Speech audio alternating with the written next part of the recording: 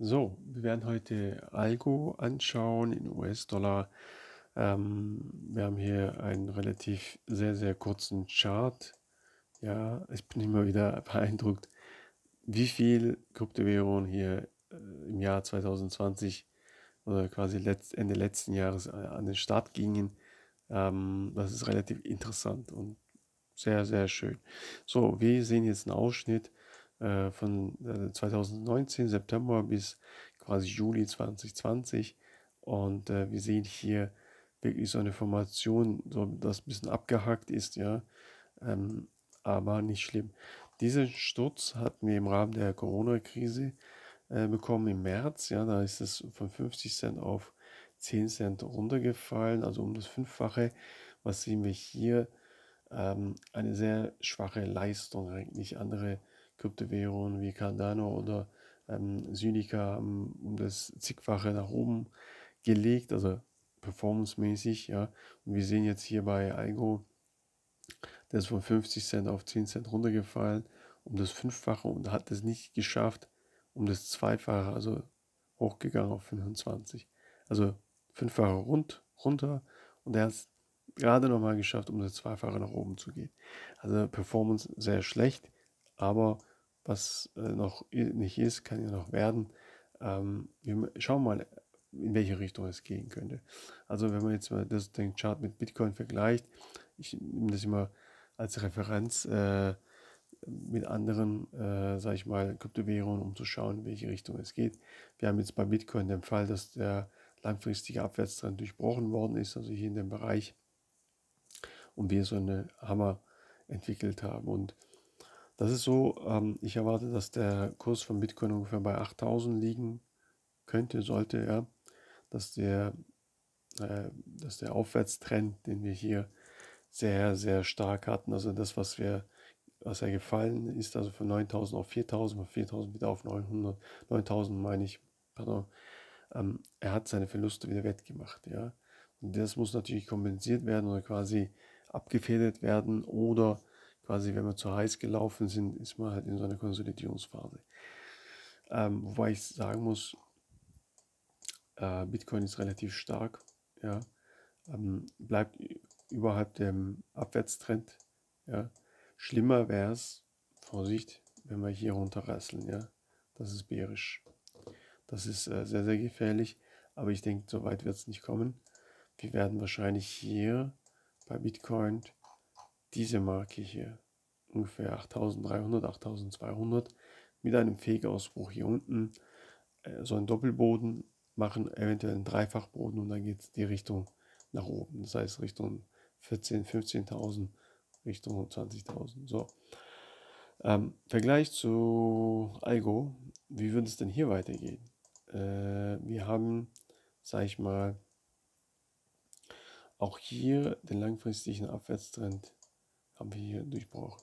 Das heißt, dieser Fall, also wir haben hier diesen Abwärtstrend und ihr seht, dieses, dieses kleine hier zeigt uns, dass der langfristige Abwärtstrend gebrochen ist.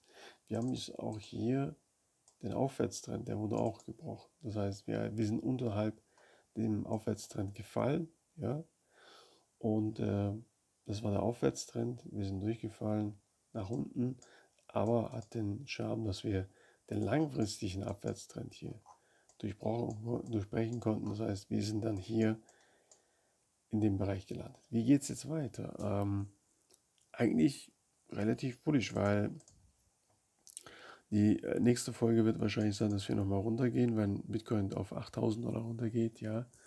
Aber dann erwarte ich wirklich einen Schlag ins, nach oben, ja. Den Angriff auf diesen ähm, Aufwärtstrend den werden wir wahrscheinlich durchbrechen. Ja? Ähm, wahrscheinlich sehr, sehr, sehr stark durchbrechen. Ja? Das heißt, wieder die Höchstkurse Richtung 55 Cent. Da haben wir noch Widerstände. Und Sie, ihr seht hier sehr, sehr elegant, dass wir in einem ähm, Schulter-Kopf-Schulter-Formation sind. Das heißt, linke Schulter, Mitte und dementsprechend wird wahrscheinlich die rechte Schulter hier auf diesem Aufwärtstrend gebildet werden. Ja. Das heißt, wenn der wenn wir hier es schaffen, oberhalb diese, diesen Aufwärtstrend zu kommen, ja, das heißt, wir haben hier, wenn wir hier diesen starken Anstieg bekommen und bei 55 Cent ungefähr abprallen und oberhalb diesem Aufwärtstrend bleiben, also, es, also ihr seht schon, es sind schon mehrere Faktoren. Erstmal müssen wir den, den Boden nochmal bestätigen, hier, das heißt, es kann sein, dass es wirklich runter absackt Richtung 13 Cent, ja. Dann, wenn der Boden bestätigt ist, hochkommen, die Höchstkurse nochmal abtasten, ja. Und wenn wir das auch noch hinter uns haben, auf diesem Aufwärtstrend quasi bleiben, dass wir nicht absacken nach unten, ja. Natürlich Worst Case Szenario kann auch sein, dass wir hier nach unten wieder absagen. Aber bleiben wir mal bei dem positiven Trend, dass er auf diesem Aufwärtstrend bleibt, ja. Und dann haben wir, wenn wir diese alle drei Faktoren quasi hinter uns lassen, dann sind natürlich höhere Kurse Richtung 1,40 oder mehr zu sehen. Ja. Ähm, ich fand das, finde es relativ interessant. Aber wie schon gesagt, da müsste schon hier äh, Bitcoin auf Richtung 15.000 ungefähr kommen, weil der Chart, also wenn man das, das mit Bitcoin vergleicht, ähm, der hat ja das, was er verloren hat, wieder wettgemacht. Und wenn man jetzt hier schaut, ähm, das, was er hier gefallen ist, der Algo, ähm, also von 50 auf 10 Cent, konnte er nicht wieder wettmachen. Das heißt, um das Fünffache gefallen, um das Zweifache gestiegen. Also performancemäßig eigentlich sehr schlecht, aber wie schon gesagt, bei diesen Sachen muss man immer vorsichtig sein. Ähm, was noch ist, was noch nicht ist, kann noch werden weil wir hier schon relativ ähm, Zeichen sehen, wo wir quasi einen starken Anstieg hier erwarten können. Und äh, dementsprechend ein Signal ist zum Beispiel hier, dass wir den langfristigen Abwärtstrend ähm, durchbrochen haben. Und das ist gut, weil der langfristige Abwärtstrend besteht momentan nicht mehr. Ja. Höchstens wir müssen noch ein bisschen tiefer gehen. Und dann können wir sagen, okay, der Abwärtstrend ist abgefrühstückt und äh, wir können eine neue Formation hier beginnen. Also ich finde das relativ interessant, das ist auch günstig bewertet, ähm, hat auch Potenzial. Also Performance hier schlecht, ja, alles okay. Aber langfristig gesehen denke ich schon, dass wir ähm, relativ höhere Kurse sehen werden, weil wir hier auch schon relativ starke Schwankungen haben. Ja. Ähm, die Kryptowährung kommt ja ungefähr auch von 80 Cent. Das heißt, die Wahrscheinlichkeit, dass wir 80 Cent hier irgendwann sehen werden, ist auch hoch. Auch im Widerstand. Wir müssen uns das noch einmal ähm, ja, im späteren Punkt nochmal anschauen, ähm, in welche Richtung es gehen könnte.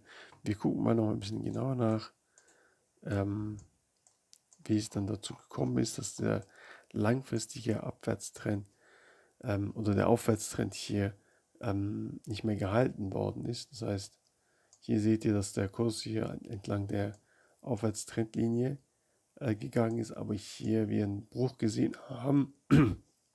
Pardon. Ähm, hier einen Bruch gesehen haben und ähm, wir sehen hier äh, schön, dass wir äh, immer tiefere Tiefs bilden. Dementsprechend, pardon, Dementsprechend ähm, erwarte ich, dass der Kurs wieder hier ein Tief machen wird, weil ähm, ein bullisches Szenario ist es nicht. Hier ein Tief, hier ein Tief, hier ein Tief, dreimal Tief. Ähm, man kann nicht erwarten, dass da jetzt hier Sprünge nach oben macht. Dementsprechend wird wahrscheinlich der langfristige Abwärtstrend hier nochmal getestet bei 17.